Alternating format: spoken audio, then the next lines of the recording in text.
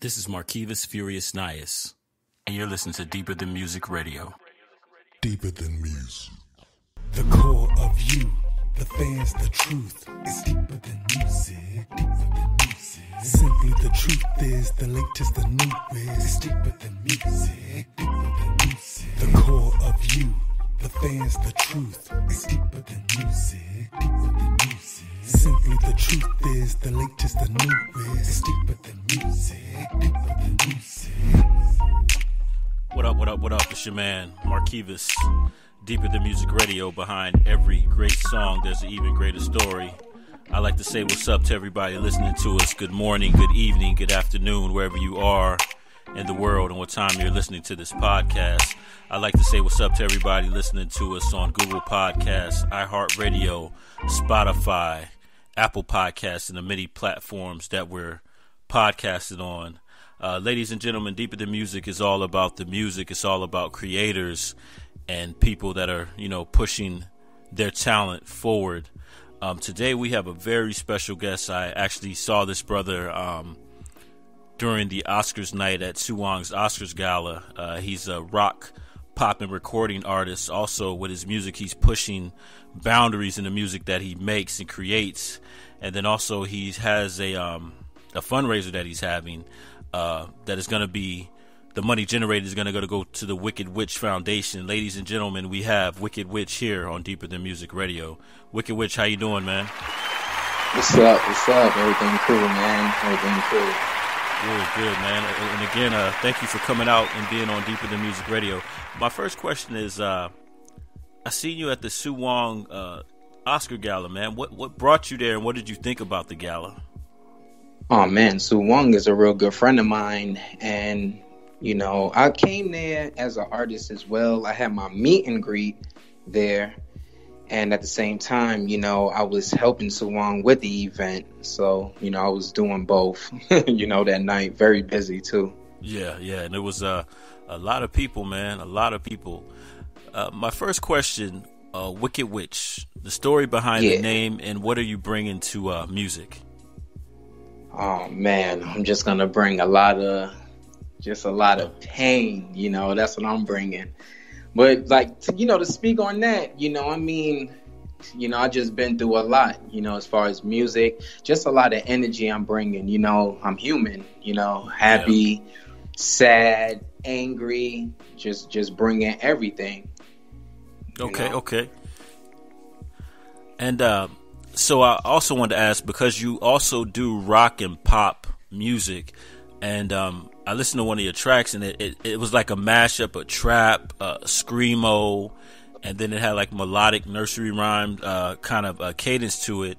Um, how old were you when you first got into music, and and when your journey began? Like, how old were you when you got into music and knew that you wanted to be a musical artist? Ever since I was 10 years old, that's when I knew I was supposed to do music. hmm I looked up to a lot of different artists, but my mother work ethic made me get to the, you know, to the level point where I am right now. Okay. And I was uh, listening to Kris Kross, okay. you know, Shyheim the Rugged Child, Wu Tang, Onyx. And, oh, you know, me and my sister, we were always write music. I made a Street Fighter song, and ever since I did that, I was like, "Whoa, it, it, sounds pretty good." You know, I feel like I'm supposed to do music, and I stayed focused on it, never stopped it, kept going, and that's and that's what I want the kids and people to know. When you do music and you want to reach far, just keep going, don't stop. Anytime you stop, that's when nothing happened. But Yeah. you know, as far you know, I love music like everyone else, and it's a passion. Wow. And you mentioned some like man, Kris Kross, Shyheim, the Rugged Child. Man, I remember. Yeah, uh, like one for the money, two for the show. So he was like a real affiliate. Man, some classics. So, um, were they your influencers, your influences, or did you have any other influences like musically? Well, my like you know, like I said, my mother is her work ethic. She worked so hard. She had a lot of different jobs out there. But you know, I, I just like seeing the artists' music videos on TV. I was like, wow, I could see myself like that. Yeah. You know, I never wanted to be exactly like them because I always felt like and always knew who I was as a person. Mm-hmm.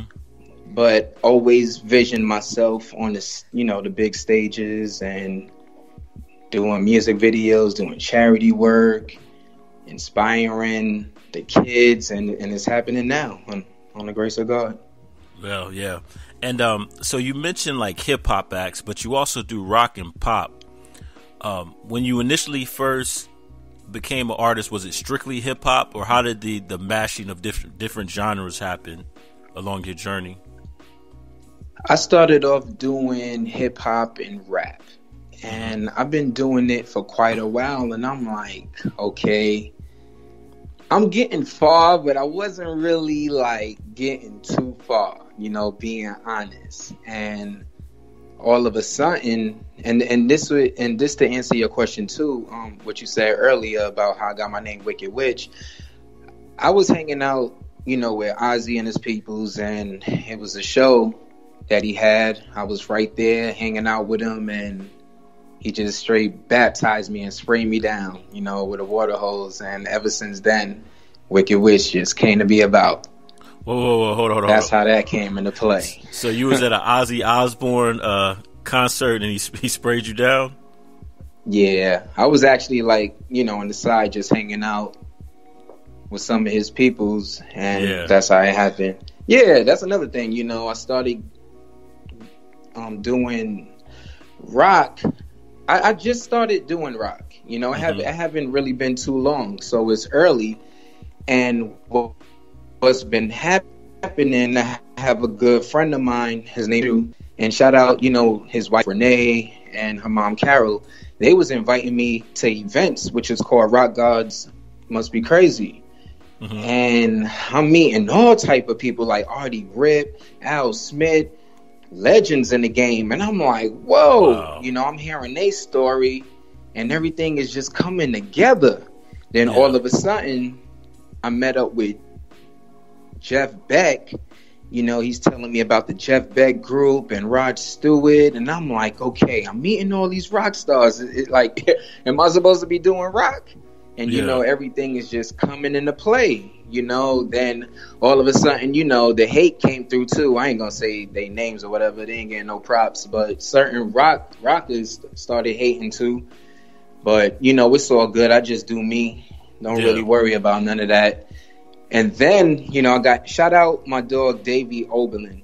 He produced my new single Molly, and he's a live keyboardist in the rock band Korn.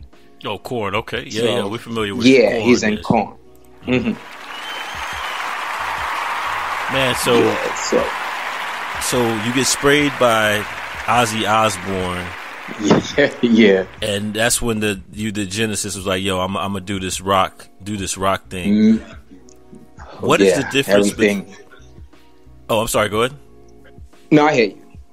I was gonna say, like, what is the difference between the rock crowd and the hip hop crowd? Because we, you know, you remember back in the day, was it um Onyx did the uh, the slam with Biohazard, and you know, you hear about these rock shows, but you've seen it firsthand. Like, what's the difference between like the energy between rock and hip hop? I would say like hip hop, they're a little bit wild, but they a little bit more relaxed.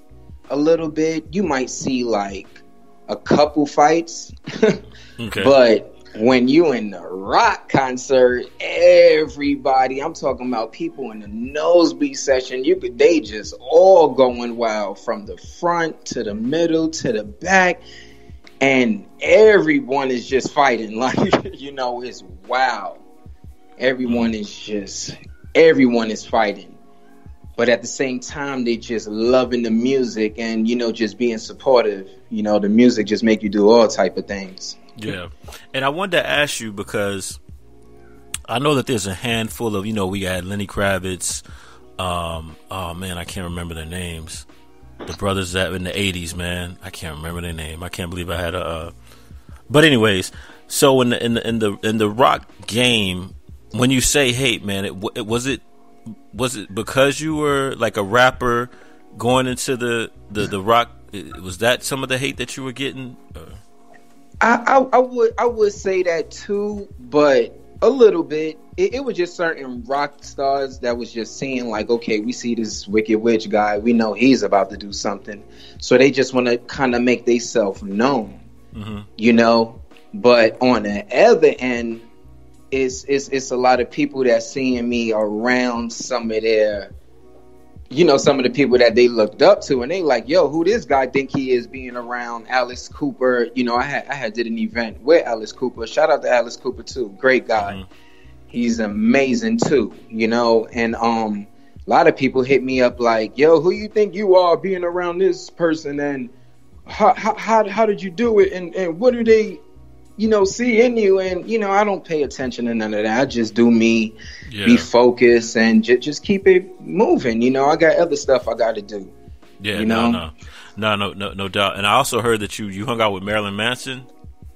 Oh man, he he's cool, man. I, I like Marilyn. He, yeah. He's cool. no, that, that, brother... that was a crazy night, and and you know he um shout out Gil Sharone. You know, he he was Marilyn Manson's drummer, and you know he gave me his drumstick, and Marilyn Manson actually like threw his microphone, you know, to me at the end of his show after he did, you know, Sweet Dreams and everything, man. So that was amazing. I picked it up and was like, wow, man. So that's another thing the way I'm like, man, you know, Wicked Witch is here.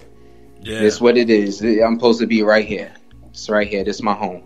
Man, and we we talked about you know the people because I mean, man, you you you you mentioned some legends, you you you know some amazing people.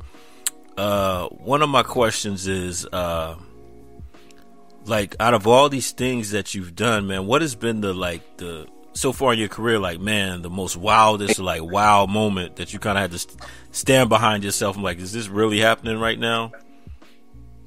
Oh man, I would really have to say just every moment what was just happening right now. You know, when I met Jeff Beck and um, you know, Godsmack, shout out to Godsmack.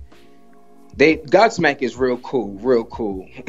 you know, I have a lot of stories with these people. Um, who else? Jason Cruz from Strung Out, shout him out. You know, he showed me love. Billy Morrison, you you know you could catch Wicked Witch at his red carpet event. You know you'll see me out there with Billy Idol, Dave. You know from the Red Red Hot Chili Peppers. I mean it's just, it's just a, you know every everything is just amazing. You know everything is amazing. Man, so uh, you you talking Billy Idol, man? That's '80s classic right there, man. So you, yeah. you got to hang out with Billy Idol, man. All of them, man. Even in Tommy Roe, you know, he had the song Dizzy and Sheila. Yeah. That he's he's an, an, an amazing guy, you know. He's like pushing 80 and was like, "Wicked Witch, man, you know, I'm working on my single right now." I just wanted to cry when we had to separate cuz this guy was so cool. And I'm like, "Wow, you 80 80 years old and you still dropping music?" You know, that's what I'm thinking. I'm like, that's where I'm to be. I'm I'm to be doing that. So, yeah. you know, Tommy Roe definitely inspired me too. Wow, wow. And um, you know, you talked a little bit about the hate, but bro. besides that, it's like what has been out of all this out of your career, what has been like the most challenging moment, man? A time was like, man, this is this is a hurdle I need to get through. I mean, just I just be focused, man. I, just really be focused. Like I just love any kind of challenge. You know, I'm I'm gonna still get through everything and then anything yeah. You know, so I just have fun with everything, man. It's every challenge is just is just fun. Yeah. I could just say I did I did go through a lot on the way up. You know, I could definitely say that, but you know, I passed that and I'm looking for the I'm looking ahead, you know. Yeah. And you um just keep going.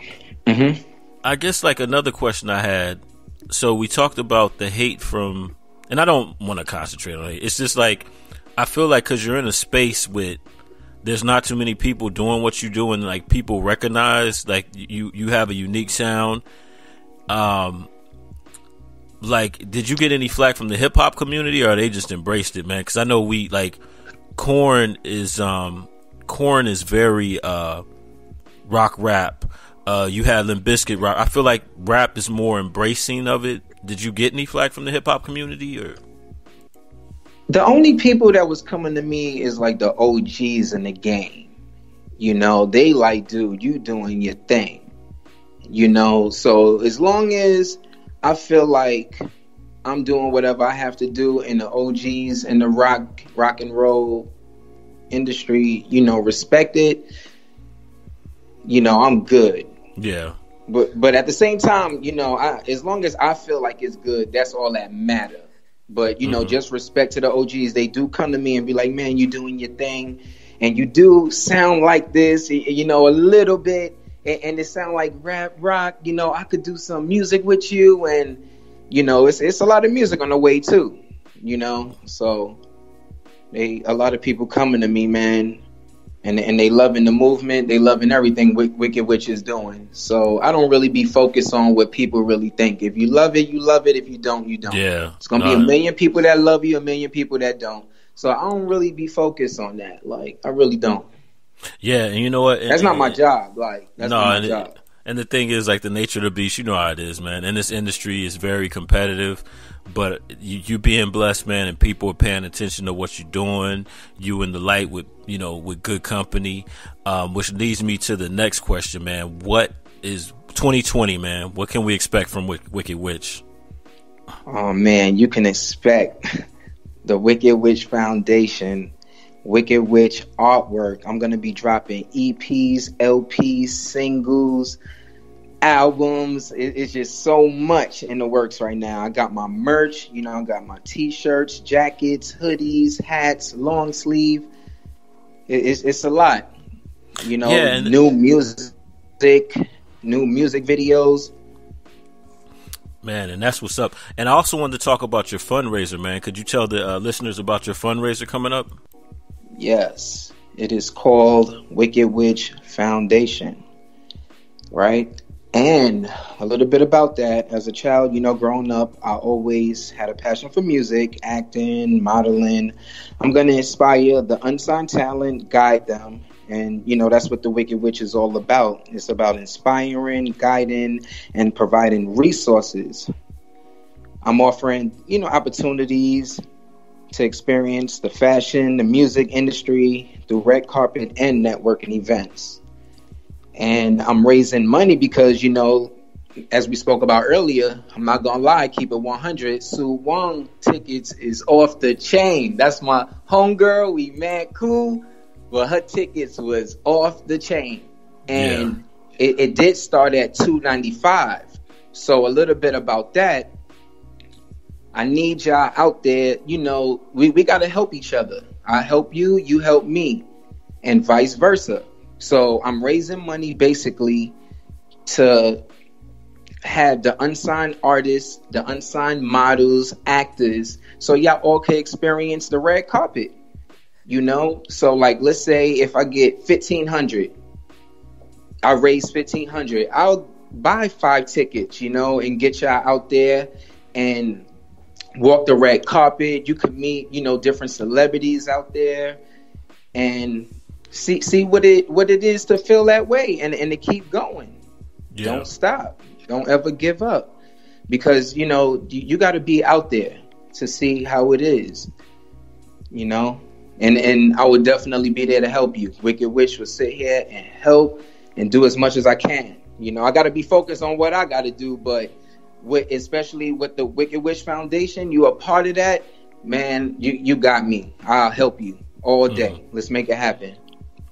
So, um, in regards to the Wicked Wick Foundation um, and everything you're doing, where can listeners hear more about you, man? Where are you on Instagram? Uh, future appearances. This is shameless promotion time for Wicked Witch. Yeah, you could definitely hit me up on IG. I am Wicked Witch. That's I A M W I C K E D W I T C H. Hit up my Patreon at I am Wicked Witch. And another thing too, I'm launching the Wicked Witch Art Fundraiser where I'm creating handmade artwork that's available to purchase too. My artwork is inspired by my life story, and you know, painting always been a way to relax my mind. So that's another project that I have. The single Molly featuring Davey Oberlin and produced by him. He did my ad libs too. So when you hear a guy screaming in the back, that's Davey right there from Korn. So Oh, okay. So you got Korn in the background screaming, huh? and oh my gosh, the ad libs is crazy. Man, man. So man. y'all be hearing that soon. You know, you could purchase the single, and it's gonna be a lot of music ahead, music videos, all of that. You know, Prince is gonna be Wicked Witch signed Prince. You know, as far as my artwork, and you know, it's a lot ahead. So stay focused. You know, follow, follow. So there you go, ladies, ladies and gentlemen. Wicked Witch here on Deeper Than Music Radio. My last question, again, thank you for taking the time to be on the show, man. I, I appreciate it, man, and keep That's doing what up. you're doing, man. What does mu- what does music mean to Wicked Witch? It, it means a lot to me. It means a lot. Music is definitely it would definitely it soothes your mind, it take care of your pain, it take care of everything. And and it mean a lot to me. You know, when I'm sad, I listen to music and it makes me feel better. Music Yeah. is the remedy. There music is the remedy, so it means a lot. There you go, ladies and gentlemen. Wicked Witch here on Deeper Than Music Radio. Um, I don't know. Uh, and what's the location of the fundraiser where people could go and check it out? You could check out the GoFundMe.com backslash Wicked Witch Foundation. And there we go, And ladies. the and artwork is GoFundMe.com backslash Wicked Witch Artwork. There you go. You have it here. Deeper Than Music Radio. Another great interview with a great talent, a lot in the future, man. And just, you are already in the presence of, of legends, man. So I know that's going to rub off on you, man. A big year 2020. Ladies and gentlemen, Marquivus and Wicked Witch here signing off on Deeper Than Music Radio. Yeah. Deeper than music. The core of you, the fans, the truth is deeper than music. Deeper than music. Simply the truth is the latest, the newest. It's deeper than music. Deeper than music. The core of you, the fans, the truth is deeper than music. Deeper than music. Simply the truth is the latest, the newest. It's deeper than music. Deeper than music.